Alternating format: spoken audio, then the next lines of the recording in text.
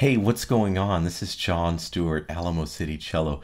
And I have a student who's currently auditioning for um, various music schools uh, here in the United States. And so I wanted to make a video kind of giving him some advice and tips going forward.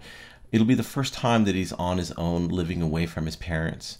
So uh, I think, you know, it's natural to be a little bit homesick at times, but um, that will fade over time and, you know, new a new sort of reality will will set in that you know um, that, that things will be a little bit different.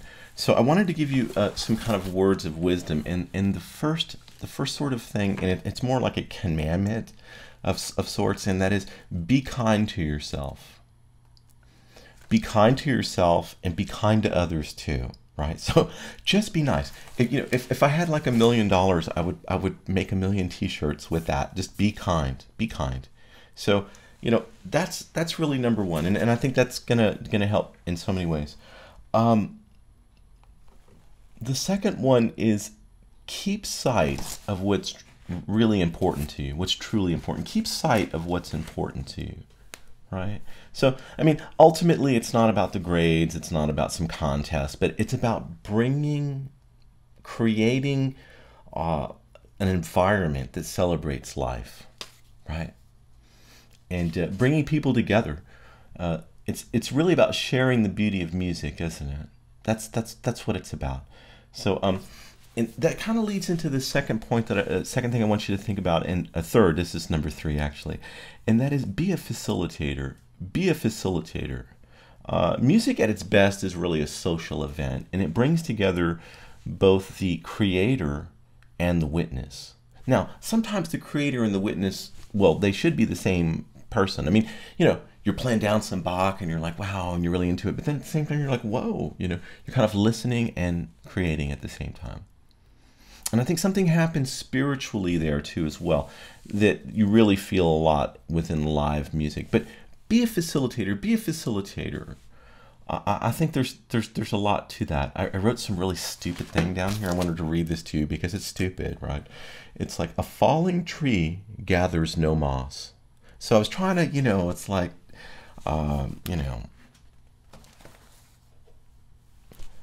a bird in the hand waits for no man, something like that. You know, two things and you kind of combine.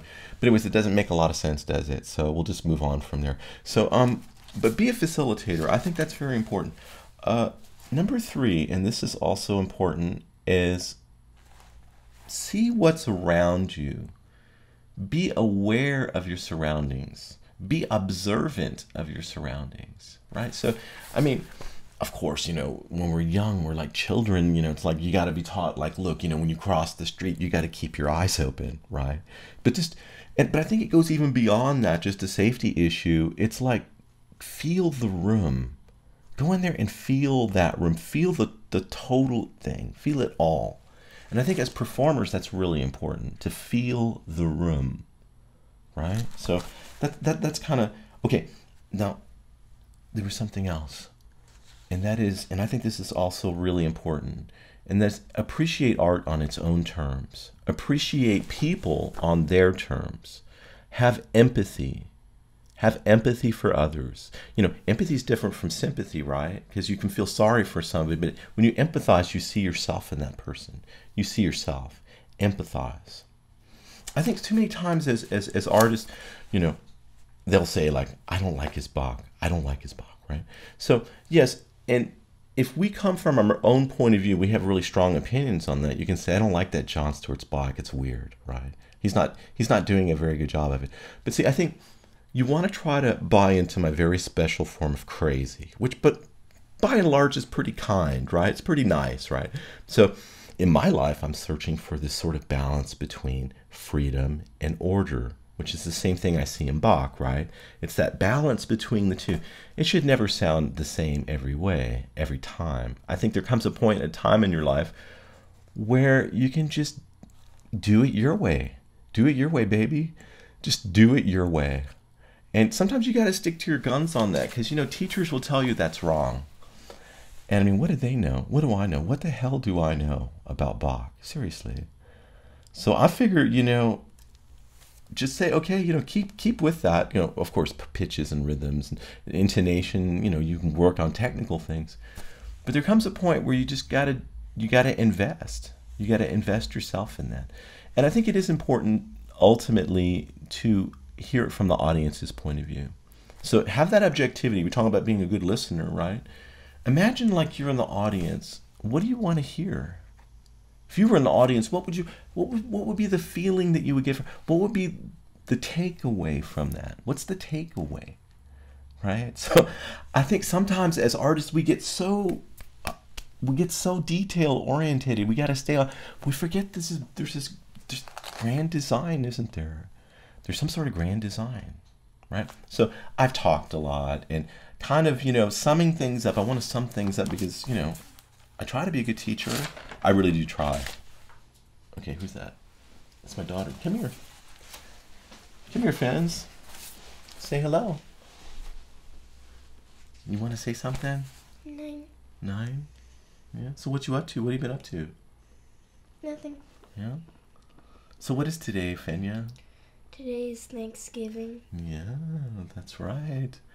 So we're going to be going headed over to the Don Strange Ranch a little later, and uh, we're going to see some lights out there. We're going to drive out. It'll be kind of fun, right? Yeah. Right. So you've been looking at music lately. You've been playing music. You practice your stuff for Mrs. Grund. Very nice. Miss uh, Darla Grund's her uh, her piano teacher and done a marvelous. Is doing a marvelous job with Fenya. She's making good progress. How long have you been playing piano, Sweet Pea? Mm, I think over a month. Over a month, yeah. Right. So we got our little Casio keyboard, and it sounds pretty good. You can make all kind of different sounds, right?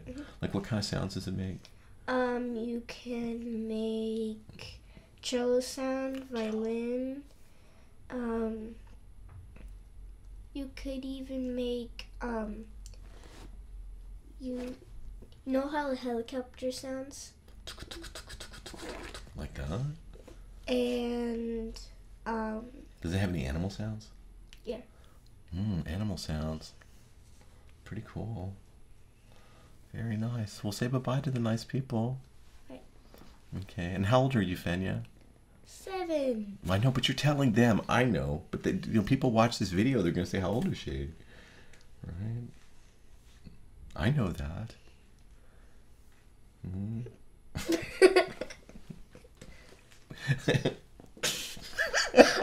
You forgot how old I was. oh no, I would never forget that.